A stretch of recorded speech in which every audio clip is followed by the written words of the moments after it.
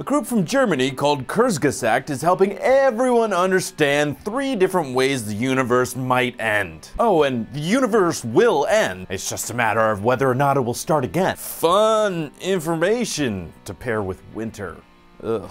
Hey everybody, I'm Patrick Jones and welcome to Buzz 60. One way the universe could end is called the Big Rip. The universe is expanding at an increasing rate, which could continue to the point where everything breaks down, including atoms, until every particle is drifting by itself, like butter over too much bread. Another option is called the heat death or big freeze. Eventually, the dust clouds needed to create stars will be exhausted, and over time, the lights will go out forever. That is so depressing. Quick, here's a puppy with a chew toy. Ah, adorable. Okay, last one. Finally, there's the big crunch. And under this theory, eventually our expansion will slow and ultimately reverse until everything, including the universe itself, will collapse into a singularity, and then the Big Bang happens again, which for God is the universe creation equivalent of a crock pot. Set it and forget it. Buzz 60, now you know, pass it on.